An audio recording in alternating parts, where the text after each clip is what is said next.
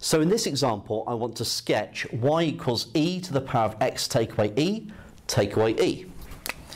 So first of all, we want to identify the horizontal asymptote, which is when y equals minus e. So here we go, y equals minus e.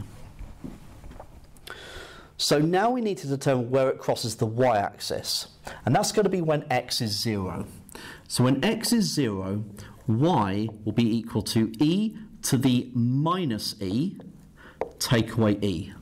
So that's when x is 0. Now, what is e to the minus e, take away e?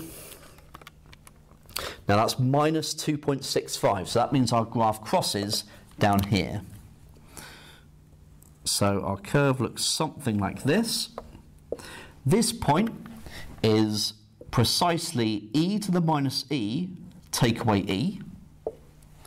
And where it crosses the x-axis is when y is 0.